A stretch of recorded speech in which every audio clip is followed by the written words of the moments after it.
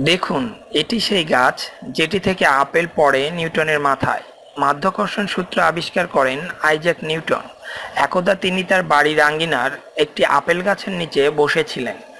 এই সময় সেই গাছ থেকে একটি আপেল তার মাথায় পড়ে।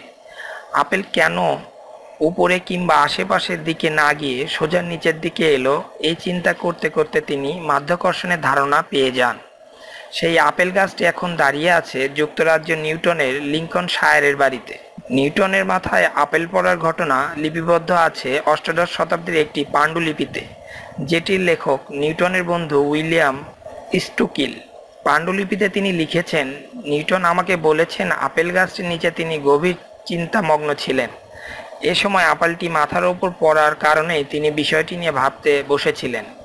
এই ভাবনা থেকে বের হয়ে আসে আজকের মধ্যাকর্ষণ সূত্র।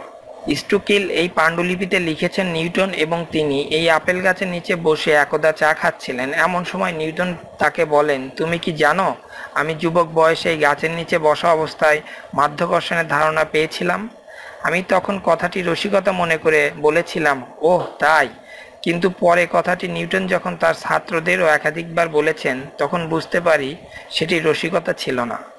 আমার এই চ্যানেল হতে আপনারা যদি আরও লেটেস্ট নিউজ পেতে চান, তাহলে অবশ্যই সাবস্ক্রাইবের মাধ্যমে আমার সঙ্গে থাকুন। ধন্যবাদ সবাইকে।